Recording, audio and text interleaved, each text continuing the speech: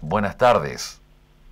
Buenas tardes, y vamos a decirle que bien, ¿verdad? ¿Tan buena? Esperando la ansiosa apertura de- del puente internacional. Bueno, hoy queda, eh, no, vamos a vamos a ver eh, lo que pasó el sábado. Quedaron todos esperando, se daba supuestamente esta apertura. ¿Cómo lo tomaron ustedes otra vez esta situación por parte del Y gobierno no, yo argentino? creo que yo creo que ya eh, se hizo como una costumbre, ¿verdad? De que lastimosamente tengamos que estar en esta situación cuando realmente Encarnación o Paraguay ya está teniendo la tercera dosis, ¿verdad? Sí. Ahora ya estamos bien en cuanto a salud, tenemos los hospitales bien preparados, o sea que ya nos falta en Encarnación, por ejemplo, ya no tenemos ninguna excusa para no abrir. Bien, pero Eh, vos hasta parece un capricho, ¿verdad? De los Sí. posadeños, pues en este caso es un capricho de los posadeños, Ajá. porque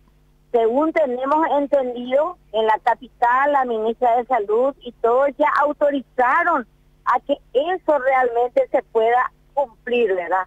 Pero mm, nosotros no vemos de esa forma y es como decir, ah, sí, no, pero la gente posada es nomás así, ¿verdad?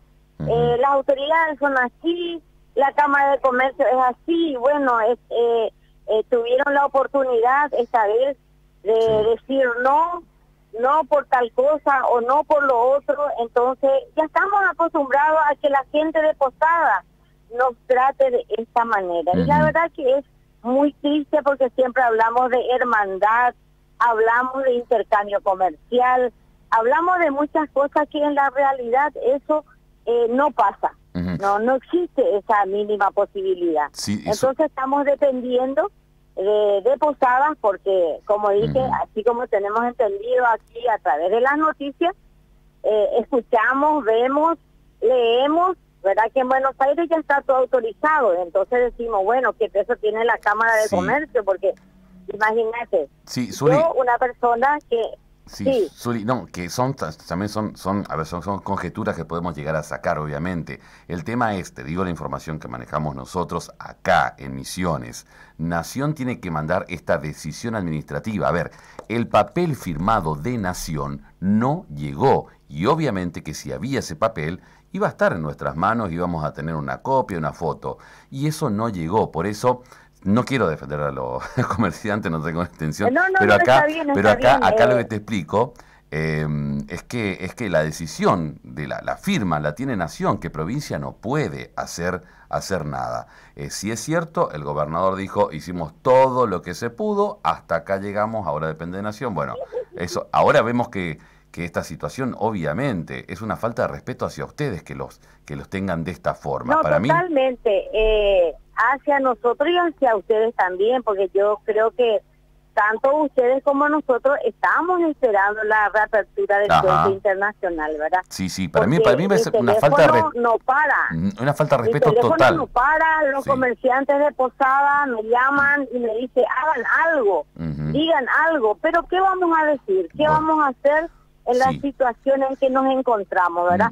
Coincido Yo con vos. le creo, como siempre le digo a los comerciantes, y pelean ustedes también. Sí. Nosotros toda la vida hemos peleado, ¿verdad? Para que ambos, eh, tanto Posadas y Encarnación, puedan seguir con ese intercambio comercial. Coincido Pero con vos. peleen ustedes también, Ajá. porque nosotros no tenemos problemas. Sí. Son ustedes los que tienen problemas realmente, Sí, ¿verdad? Zuli, coincido con vos y te digo como argentino hasta pedirle las disculpas a los ciudadanos paraguayos que quedaron varados en el, porque en realidad fue una falta de respeto. Fue una falta de respeto lo que pasó el sábado, eh, que queden varados, muchos intentando pasar, fue, fue muy respetuoso. Pero ahora te pregunto, ante No. esta situación, Sí.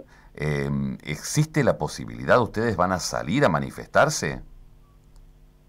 Y mira, no creo, no creo porque eh, eh, de- depende de la voluntad popular en la Argentina. Entonces nosotros tenemos, a nosotros el gobierno rápido nos habilitó, está abierta la frontera hacia el lado paraguayo, es el lado argentino y yo no puedo ir a, a exigirle al gobierno argentino, ¿verdad? Que abra el puente internacional. Lo único que yo puedo decir es que hasta parece que nos marginan. Lo que Sí. nosotros podemos hacer es eh, hacer una denuncia a nivel eh, haya, porque no puede ser. Nosotros creemos, ¿verdad? Porque en, el Brasil tranquilamente se abrió. Hasta se ofreció la Argentina con el Brasil para poder habilitar. Pero con Paraguay no sucede lo mismo. O sea que es como que nos desprecian, es como que nos denigran, les gusta vernos así, pero yo te voy a decir una cosa como paraguaya. Estoy muy orgullosa de mi ciudad, de mi país, porque ninguno murió por no irse a Posada. Lo único que te puedo decir, que siempre dijeron de que dependemos de la Argentina, que no comemos si no nos vamos a Posada, que no vivimos si no nos vamos a Posada, que no vamos a respirar más si no nos vamos a Posada, y no es así. En estos casi dos años demostramos que podemos hacer ese comercio eh, digamos, aquí dentro de nuestro país y no morirnos de hambre como siempre dijeron, ¿verdad? Entonces, no les queda otra que marginarnos porque nos sentimos muy marginados, ofendidos, porque es increíble cómo demuestran el odio, hasta parece, no sé, más que odio parece hacia los, hacia los paraguayos, por eso es que eh, no están habilitando, ¿verdad? Entonces, yo digo, ¿para qué tenemos un puente de integración? Eh, Yo lo que me gustaría alguna vez ver que se caiga ese puente y que de una vez por todas la Argentina haga su gusto, porque es evidente que los argentinos no nos quieren ver y lo único que hicimos en, en todo ese tiempo fue llevar plata, plata, plata, plata. Hemos aportado con los impuestos, hemos aportado en todo ese intercambio comercial hemos hecho como se tenía que hacer, hemos luchado por eso y hoy somos desconocidos y como dije, hasta marginados. Entonces, molesta un poco ver la reacción de, de, los este, del gobierno argentino, si es que realmente es así, porque más se habla que Posada es. Bueno, pero... el gobierno de Posada, que es la Cámara de Comercio de Posada, el que realmente no odia, porque creemos que nos odia, es la única manera de pensar. no tenemos otra forma de pensar. Zuli, y esta situación, a ver, lo que se está viviendo ahora, ¿va a cambiar, crees, la relación entre, entre ustedes y nosotros? Y mira, no creo, no creo porque eh, las autoridades entre sí realmente necesitan tener eh, un buen relacionamiento. Bueno eh, el problema, no sé realmente, como dije, ya, ya no sé qué adjetivo darle a esto. Es una pena realmente cuando podemos y necesitamos, porque los argentinos no nos pueden, no pueden desconocer que vienen a Paraguay por una mejor vida también, ¿verdad? Sí, obviamente. Por comprar más barato, por encontrar cosas eh, buenas, como también de baja calidad. Y nosotros lo mismo. Nosotros lo mismo, por eso siempre hablo de intercambio comercial, porque tanto nosotros como los argentinos necesitan venir a comprar. Y nosotros también, nosotros también queremos irnos a comprar, ¿verdad? Pero escuchamos que no nos van a cargar el combustible, que no nos van a vender tal cosa, que no vamos a traer tal cosa, porque está prohibido para nosotros. Entonces yo digo, ¿para qué entonces hablamos de hermandad y de intercambio comercial a esa altura, ¿verdad? Ya estamos más del milenio y seguimos peleando, seguimos discutiendo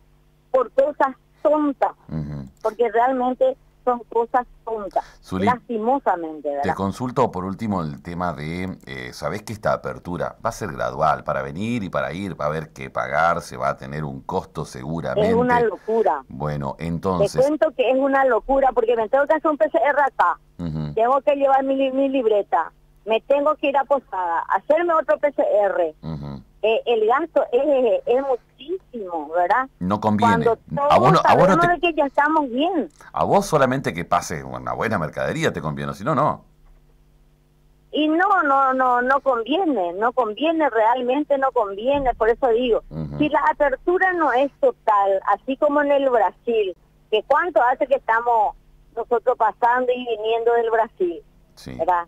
Eh, no sé, hace un año más o menos, porque poquito tiempo se cerró en el Brasil y bueno, apenas eh, se llegó a un acuerdo y se habilitó y tranquilamente. Por eso digo, eh, no, no, no veo yo la razón, porque es como que le ponen el palo a la rueda para poder habilitar ese puente. Yo creo que se tiene que declarar definitivamente la Argentina que ya no va a abrir más lo que es su lado y nos tranquilizamos todos. Imagínate el gasto que tuvieron muchísima gente que quería ir a ver a su familia, porque más eso no podía hacer. Ni siquiera una un chicle no podía comprar porque estaba prohibido.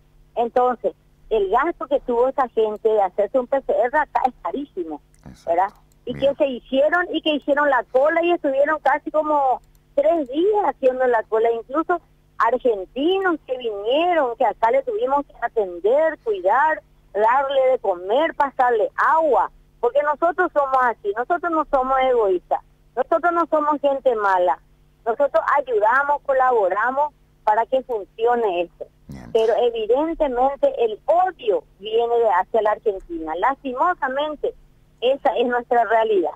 Zuli, te mando un abrazo grande. Yo no te odio, ¿eh? te aviso por la duda. Igual a ustedes, muchas gracias. Acá te queremos, Zuli. Muchas gracias. Nos vemos. Hasta luego. Bien, Zuli Jaquet, eh, desde, desde, el otro lado, ella se dedica justamente al cruce, al, bueno, conocida pasera eh, de mercadería desde el vecino país hacia, hacia la Argentina y se muestra bastante molesta, con justa razón, ¿eh? porque una tomada de pelo, lo que pasó el día sábado, el anuncio, la certeza de que habría, de que Nación cuando eh, avisaba que estaba, que iba a estar la decisión administrativa, no estuvo. Mañana veremos otro capítulo si sigue esta historia, pero lo que se pide desde Posadas y desde Encarnación es la apertura del puente.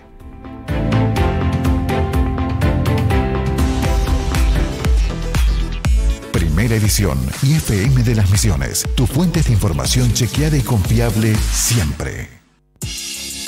El IPESMI abre sus inscripciones para el ciclo 2021 con sedes en Posada, Jardín América, Oberá y El Dorado, cuenta con una oferta académica amplia y variada.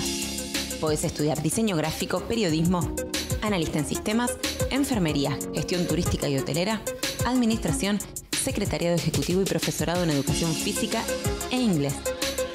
Para más información, comunicate al 3764 100232 o ingresa a ipesmi.edu.ar.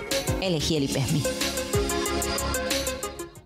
El INIM recuerda a todos los secaderos de yerba mate de la zona productora, que dispone de varios programas de financiamiento para la adquisición